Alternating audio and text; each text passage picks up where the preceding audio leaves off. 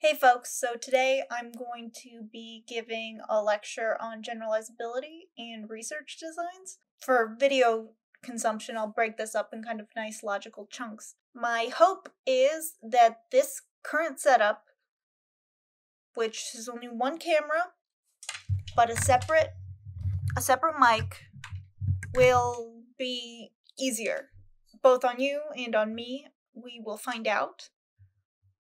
So yeah, let's let's get going. So, generalizability. I talked about how there's this distinction between internal validity and external validity, and that I disagreed with the book's characterizations of this fuzzy idea of distinguishing between validity and reliability. This is where I really disagree with David Funder. I think his book is great, don't get me wrong, I mean, obviously, I'm using the book, so I think it's pretty good. In case that was unclear, it's a very good book. But there are minor, minor things that I disagree with. I don't think there's this fuzzy distinction between reliability and validity. I could see there being a bit of a fuzziness with reliability and internal validity, but not so much the distinction between reliability and generalizability. So, internal validity, which includes making sure your measure is consistent and is actually assessing what it's supposed to assess, all fall under internal.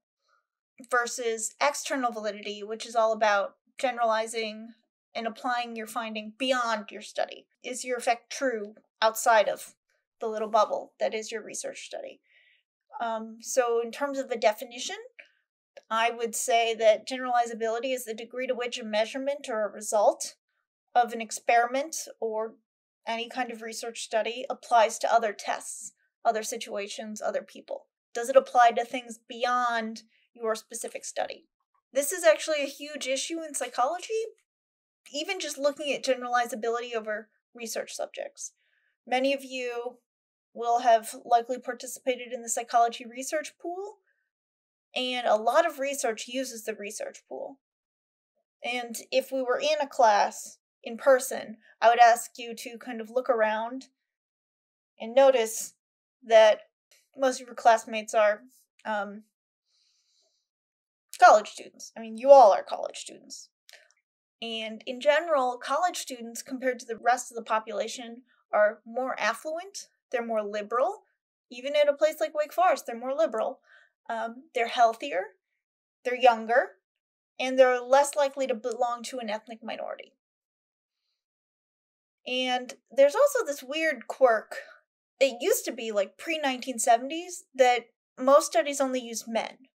And it was a novelty or like a almost a does this generalize question to uh, the ladies. If you recall from uh, the Milgram study, when they aggregated all those results, there was one condition of women, which implies strongly that every other condition was not women. So that has shifted. Now psychology is much more female dominated than it used to be. Um, this class is about 80 percent female, which is about in line what most most classes are and most of the majors. So so you have that aspect of just the distribution of like college students. There's an interesting tendency that women are more likely to volunteer for studies, and when they volunteer, they are also more likely to show up. So this raises two questions about psych studies and the results we get from them. One, are women importantly different from men? And is that important difference why they are more likely to volunteer and show up. Next, we have to ask ourselves are the men who volunteer and show up for these studies meaningfully different from the, from the other men, those that don't show up? It can be a really big problem if people differ in these groups systematically.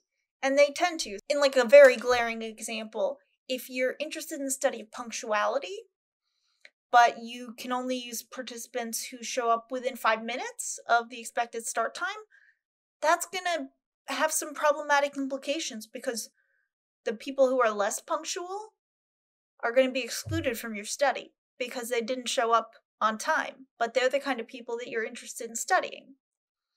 So all you have is a study of super punctual people versus slightly less super punctual people. Like it can really hinder your study if you have these kind of like systematic differences between those people who do participate in your study and those that don't. In an ideal world, you would want your study participants to be arbitrary if they were in the study or not, totally random. Of whatever population you want to make your claims about, had an equally likely chance of getting in the study. And even if we address the college versus no college, women versus men, showing up versus no showing up, there's another fundamental limitation of psychology research. It is not very ethnically or culturally diverse. So, most research in psychology, most of the research that I will talk about, I've, I've made an active effort to broaden that as much as possible, but 80% of research is done on white middle class college students as well as people who are weird. When I say weird, I mean W E I R D in all caps. It's an acronym. Weird is in Western, educated, industrialized, rich, and democratic people. So, beyond the United States, typically research studies look at members of the EU and Canada. A lot of studies, almost 80% of studies, hit that area which is not everybody. That is not a huge por- portion of the population. Yet it's 80% of psych studies. And that has some serious implications for what we can actually say about our studies. Now, that's not to say that any study is incorrect. That is to say that we can't know if those findings apply to other groups beyond white college students.